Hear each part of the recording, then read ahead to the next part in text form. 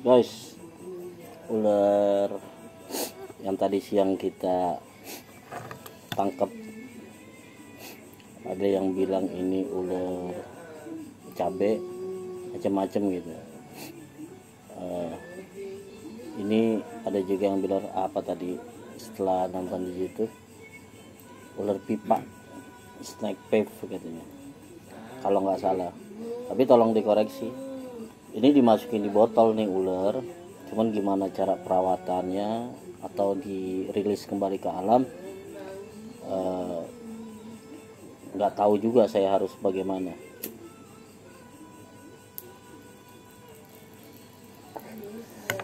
Ini ular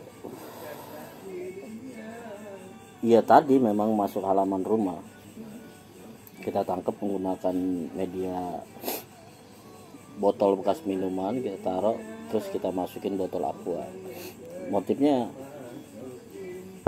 eh, kepalanya nih di ujung atas ini ini ada di di sini dan buntutnya melingkar ini ukurannya si kecil sekelingking sekelingking lah ya gitu. Tapi buat saya yang kurang pengetahuan tentang reptil takut juga merah ular gitu ini berbisa atau enggak ya kira belum tuntas tadi tuh nontonnya terlihat memang seperti kepala dua. Ini ekornya seperti kepala juga. Dan ini ini ke, kepalanya sebenarnya ada di sebelah sini nih yang melingkar tuh kecil kalau yang agak lurus nih. Ini buntutnya. Ini buat teman-teman boleh komentarin kalau ada di mana tempatnya. Kasih tahu ini harus dirilisnya ke mana? Sebab ini kan lingkungan perumahan ya. Banyak anak kecil banyak orang ngeri. Memang pengetahuan tentang dunia reptil terutama ular ini kita kurang paham. Tapi kita akan cari referensi guys tentang ular ini berbisa atau enggak. Oke guys ntar di sambung lagi di video berikutnya. Mudah-mudahan uh, jadi edukasi bahan kita. Ini dimasukin di botol aqua kayak gini kira-kira mati enggak nih nih medianya kayak gitu tuh.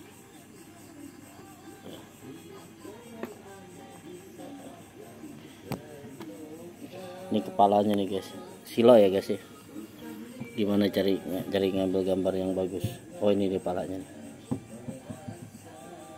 nah ini untuk tubuhnya. Kecil cuman buat kami nih guys yang tidak punya pengetahuan tentang reptil menjadi ancaman sendiri dan takut. Mungkin Mas Panji kali bisa kasih arahan ke saya. Kalau mau dirilis gimana gitu. Oke guys ini udah terlampau ini. Nanti kita sambung lagi. Salam lestari kalau kata Panji.